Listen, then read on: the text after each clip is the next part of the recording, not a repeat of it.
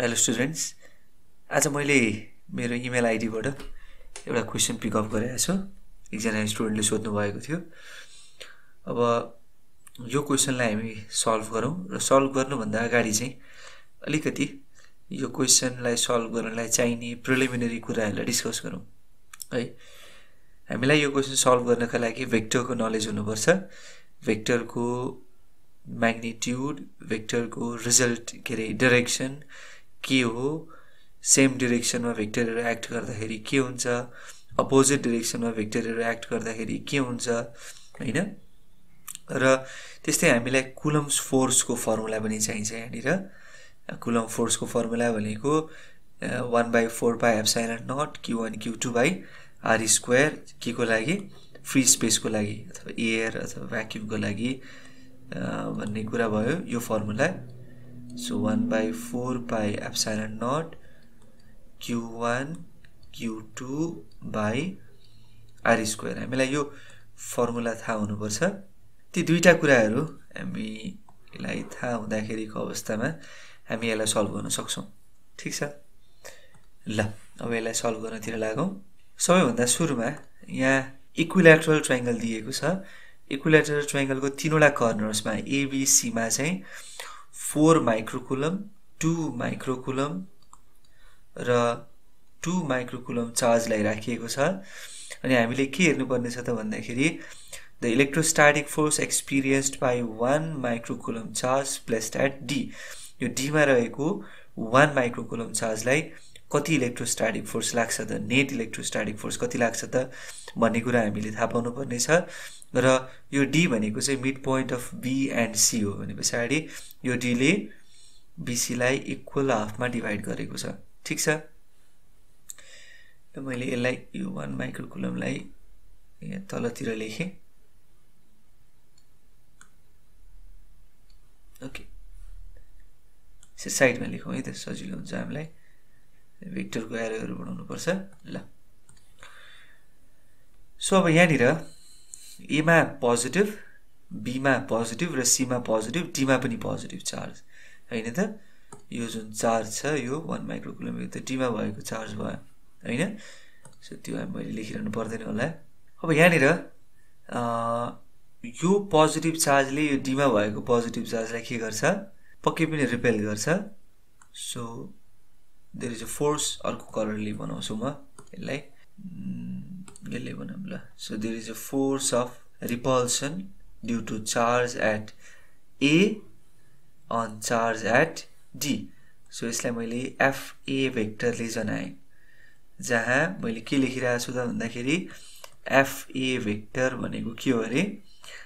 Electrostatic force on charge at D from charge at A है त? So डीमा हेर्दैछौँ हामी। डीले पनि एमा त फोर्स लगाउँछ तर हामी कन्सन्ट्रेट डीमा भइरहेछौँ डीमा कति फोर्स लागिरहेछ भनेर ठिक छ ल। त्यस्तै बीले डीलाई रिपेल गर्छ र सीले पनि डीलाई रिपेल गर्छ। यानि कि बीमा भएको चार्जले डीमा भएको चार्जलाई रिपेल गर्छ र सीमा भएको चार्जले डीमा भएको चार्जलाई रिपेल गर्छ। अब यो जुन कुलम फोर्स छ यो त दुईवटा कुरामा डिपेन्ड रहेछ। हुन त यो अर्को तिनवटा कुरामा जस्तो एउटा चार्जको प्रडक्टमा त्यस पछाडि डिस्टेन्समा र अर्को मिडियममा डिपेन्ड गर्छ। तर मिडियम एउटै भएको अवस्थामा दुईवटा कुरामा डिपेन्ड गर्छ। एउटा चार्जको प्रडक्टमा र अर्को चार्जको म्याग्निट्युडको प्रडक्टमा र अर्को डिस्टेन्सको स्क्वेयरसँग इन्भर्सली प्रोपोर्सनल अब यहाँनिर यो बीमा भएको चार्ज र डीमा भएको चार्ज। सरी यो बीमा भएको चार्ज र सीमा भएको चार्ज सेम छ। बीदेखि डीसम्मको डिस्टेन्स र सीदेखि डीसम्मको डिस्टेन्स पनि सेम छ। भनेपछि बीमा भएको चार्जले डीमा भएको चार्जलाई जति फोर्स लगाउँछ सीमा भएको चार्जले पनि डीमा भएको चार्जलाई त्यति नै फोर्स लगाउँछ। होइन त? सो त्यही गरौँ। यसलाई म अर्को कलरले जनाउँछु। सीले गर्दाखेरि फोर्स उतातिर लाग्यो यानि कि सीमा भएको चार्जले गर्दा र बीमा भएको चार्जले गर्दाखेरि फोर्स उतातिर लाग्यो। यसलाई अलिकति मैले क्लियरली देखाउनु पर्दाखेरि ल यहाँ पोइन्ट मैले सेपरेट बनाएँ है त डी सो यतातिर force due to charge at C र यतातिर force due to charge at B र यतातिर force due to charge at A यसलाई मैले एफ बी भेक्टर लेखेको छु। यसलाई एफ सी भेक्टर र यसलाई एफ ए भेक्टर होइन? त सो यहाँ एफ सी भेक्टर र यो के हो अरे एफ बी भेक्टर सो यहाँ एफबी भेक्टर भने के हो लेख्न सक्नुहुन्छ। त्यस्तै एफसी भेक्टर पनि के हो लेख्न सक्नुहुन्छ। त्यसमा खासै केही समस्या भएन। यसलाई भाषामा लेख्ने कुरा भयो। अब एफबी र एफसी त अपोजिट डिरेक्सनमा छ। Is it since FB and FC are in opposite directions र म्याग्नेट्युडमा पनि इक्वल छन्. And also equal in magnitude त्यही देखियो म्याग्नेट्युडमा किन इक्वल किनभने बी बीमा भएको चार्ज र सीमा भएको चार्ज सेम हो र distance from B to D र सी टु डी पनि सेम हो. ल. So they cancel each other यसमा केही समस्या भएन. इक्वल फोर्सले दुईतिरबाट कुनै चिजले ठेलिरहेछ भने त्यो जुन ठेलिएको अब्जेक्ट छ जसलाई हामी फोर्स लगाउँदैछौँ त्यसमा नेट फोर्स जिरो लाग्छ। यसलाई यसरी लेख्न पनि पाइयो। अथवा भन्दा पनि यसलाई सँगसँगै यसरी लेख्थ्यौँ न that is FB vector is equals to FC भेक्टरसँग equal र अपोजिट नेगेटिभली अपोजिट भनौँ अनिखेरि यो इक्वल भनेर देखियो अर्को। अब त्यसो भए net force is only due to so the net force is due to charge at A र त्यो भने कुन फोर्स हो? That is FA vector is it ल। अब यो एफए भेक्टर निकाल्न सबैभन्दा सुरुमा त एफए निकाल्नु पऱ्यो सो एफए भनेको one by four pi epsilon nought र फ्री स्पेसको लागि one by four pi epsilon nought nine into ten to the power nine भइहाल्यो। Into q one q two q one भनेको एमा भएको चार्ज फोर माइक्रोकुलम बनाएको छ त्यसलाई हामी four into ten to the power minus six coulomb लेख्न सक्यो। किनभने वान माइक्रोकुलम भनेको ten to the power minus six coulomb हो।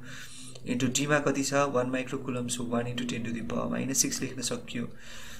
त्यस पछाडि डिभाइडेड बाई डिस्टेन्सको स्क्वायर भनेको एदेखि डीसम्मको डिस्टेन्सको स्क्वायर इजेन्ट इट सो यहाँनिर एदेखि डीसम्मको डिस्टेन्स हामीले हेर्नुपर्ने भयो र यो त पर्पेन्डिकुलर हुन्छ अभियसली सो भर्टिक्सदेखि यो ए भर्टिक्सदेखि चाहिँ हामीले डीसम्म मिड पोइन्टसम्म ड्र गरेको लागि इट इज अलवेज पर्पेन्डिकुलर हामीले साना साना क्लासहरूमा प्रुभ पनि गरेका छौँ। अब यहाँनिर यो टु मिटर छ। भनेपछि यो एक मिटर छ। आधा। सिडी कति छ? एक मिटर छ। सो एडी कति भयो? त्यसको लागि पाइथागोरस थ्योरम लगाउँ AC square equals to AD square plus CD square. Isn't it so यो भनेको फोर भइहाल्यो।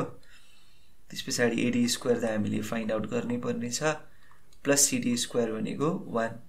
So four minus one three. So AD भनेको कति भयो? Root three. Root three metre it सबैलाई लगेर त्यहाँ राख्थ्यौँ एफए इज इक्वल्स टु त्यो माथिको जस्ता जस्तै भइहाल्यो nine into ten to the power nine into four one जा four into ten to the power minus twelve divided by root थ्रीको square भनेको थ्री सो थ्री थ्री जा नाइन यहाँनिर एउटा लाइन पनि डिभाइडको लाइन थ्री फोर जा twelve so twelve into ten to the power nine यता minus twelve छ भने चाहिँ minus three newton okay so FA यो भयो यो म्याग्नेट्युड भयो net फोर्सको so this is the net force र हामीले therefore net electrostatic force जसको हामी म्याग्नेट्युड मात्रै लेख्दैछौँ यसलाई त्यस पछाडि डिरेक्सन पनि हेरौँला। Is equals to 12 into 10 to the power minus three newton त्यस पछाडि अब direction of net force so यसलाई मैले यहाँनिर नेट फोर्स भने पछाडि एफ भेक्टर भनेर लेखेँ है त। ठिक छ? सो द्याट इज म्याग्नेटिक मात्रै हेर्दैछु भने चाहिँ एफ यही एफए भनेकै एफए हो। मैले यहाँनिर साइडमा पनि लेखिदिन्छु है त। अघि त लेखिसकेका छ हामीले भाषामा। यहाँ since